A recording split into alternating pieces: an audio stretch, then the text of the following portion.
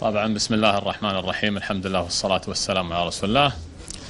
لعل يعني هذه الانتخابات ولأول مرة تمر علينا علي أنا شخصيا أتكلم عن نفسي بدون شطب وبدون محاكم.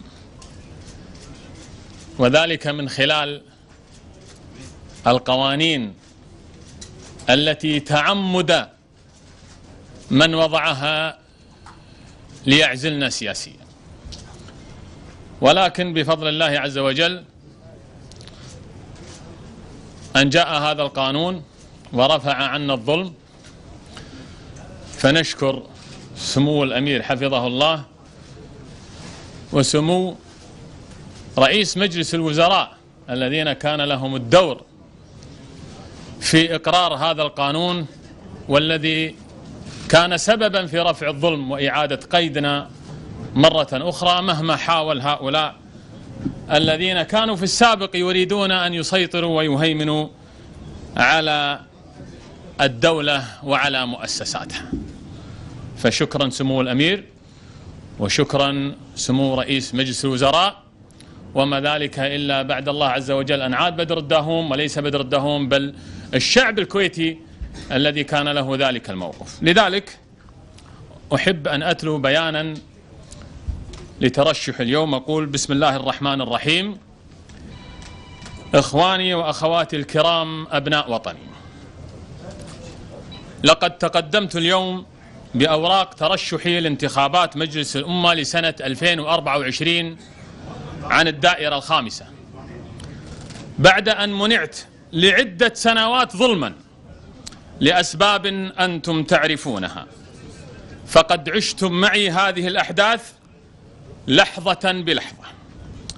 فكنتم بعد الله تبارك وتعالى خير معين على تحمل الظلم وخير ناصر في مواجهة الفاسدين بل وخير مثبت لنا على مواقفنا والتي لم نقفها إلا حبا لوطننا.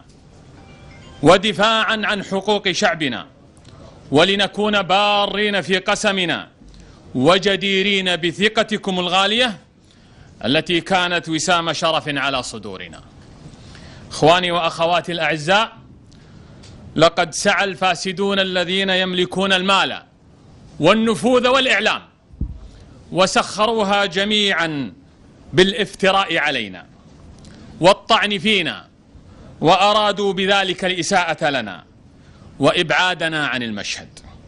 ولكن إرادة الله تبارك وتعالى أقوى من إرادتهم. فها نحن اليوم نعود للانتخابات. وقد ارتفع الظلم عنا ورجع الحق لأصحابه.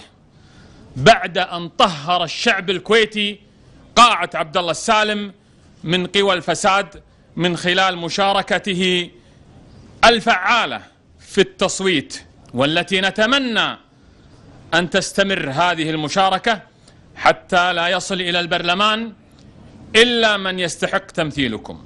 فنسأل الله عز وجل أن يحفظ بلادنا الغالية ويحميها من كل فاسد.